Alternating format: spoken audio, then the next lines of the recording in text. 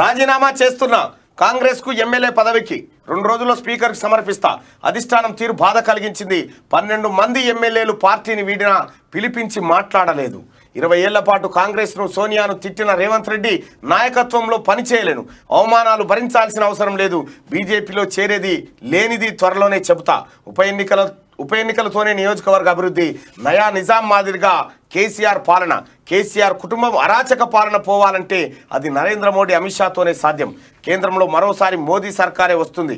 Munugode MLA Rajagopal Reddy. రాజీనామాపై ముందే చెప్పిన ఆంధ్రజ్యోతి బీజేపీలోకి ఎర్రబల్లి ప్రదీప్ రావు. టీఆర్ఎస్కు మంత్రి ఎర్రబల్లి సోదరుడు గుడ్ బై. తూర్పు టికెట్ ఏడిన అమిత్ షా సమక్షంలో చేరిక. ఎర్రబల్లి ప్రదీప్ రావు బీజేపీలో చేరుతా ఉన్నాడు? అసలు టీఆర్ఎస్కు మంత్రి ఎర్రబల్లి సోదరుడు గుడ్ బై. తూర్పు టికెట్ ఏడున అమిత్ షా సమక్షంలో బీజేపీలో చేరబోతా ఉన్నాడు. మొత్తానికి అటు వరంగల్లో ఇటు నల్గొండలో అటు ఖమ్మంలో ప్రత్యేక దృష్టి సారించింది భారతీయ జనతా పార్టీ.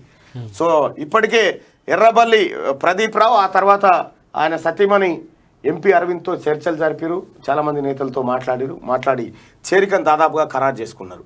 ఇక ఈ రాజగోపాల్ రెడ్డి అంశానికి వస్తే కన్న తల్లిని చంపే నరహంతకుడు విశ్వాసఘాతకుడు రాజగోపాల్ రెడ్డి. ఆయనకు పార్టీ చేయనిదంటూ ఉందా? ఎన్నికకు సిద్ధం ఐదున మునుగోడులో భేటీ. వెంకటరెడ్డిపై విశ్వాసం ఉందని చెప్పి రేవంత్ రెడ్డి అంటా ఉన్నాడు. మునుగోడు పోరు. నిజంగా ఇది ఇది మనం చర్చించుకోవాలి.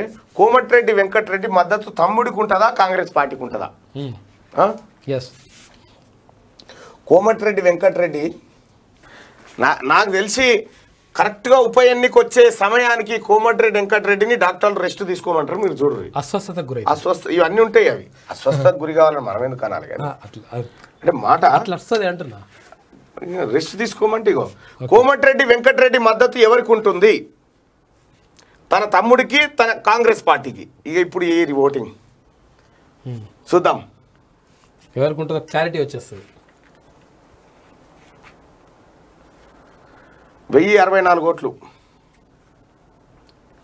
ఇప్పుడు తేలిపోతుంది లెక్క ఒక్కడే దెబ్బకు బయట పడిపోయా ఉమ్. పద్నాలుగు వందల ముప్పై ఐదు పదిహేడు వందల యాభై ఐదు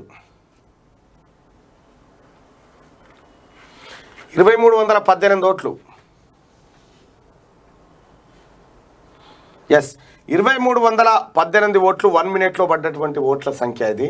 ఇరవై ఏడు వందల తొంభై రెండు ఓట్లు. అంటే దాదాపు ఒక ఇరవై ఎనిమిది వందల ఓట్లు పడ్డాయి. తన తమ్ముడికి ఉంటుందా కాంగ్రెస్ పార్టీకి ఉంటుందా అంటే తన తమ్ముడికే ఉంటుందని చెప్పి డెబ్బై రెండు శాతం మంది ఓటింగ్లో పాల్గొన్న వాళ్ళు చెప్తున్నారు. దాదాపు మూడు వేల మంది ఓటేసారు. ఇక కాబట్టి కోమటిరెడ్డి బ్రదర్సు వాళ్ళు ఎక్కడ పోయినా సలగుండాలని కోరుకుంటారు వాళ్ళు. కాంగ్రెస్ పార్టీ ఉంటేంది పోతేంది వాళ్ళకు. అర్థమైందా? రైట్.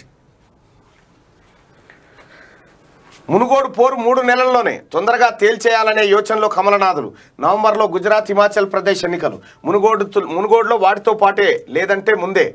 టీఆర్ఎస్ అభ్యర్థిగా మాజీ ఎమ్మెల్యే కూసుకుంట్ల మండలి చైర్మన్ గుత్తాను బరిలోకి దించే యోచన కుత్త సుఖేందర్ రెడ్డిని పెడితే మాత్రం వట్టిగానే గెలుస్తారు రాజగోపాల్ రెడ్డి. కాంగ్రెస్ నుంచి పాల్వాయి స్రవంతికి అవకాశం. బీసీలకు ఇవ్వాలనుకుంటే ఇతరుల పేర్లు తెరపైకి బీసీలకు ఎందుకు ఇస్తారా? బీసీలు బానిసలుగా? బీసీలకు ఇస్తారా లేదు అనుచరులే? నాయకులు బీసీలకు ఇస్తారు. బీసీలు అంటే బానిసలు అన్నట్టు మీరు జై కొట్టాలి, జై కొట్టాలి. జై కొట్టాలి. ఏదో గమ్మత్తున్నది మీ కథ. ఓట్లేసే యంత్రాలు. ఆ యంత్రాలు గట్ల.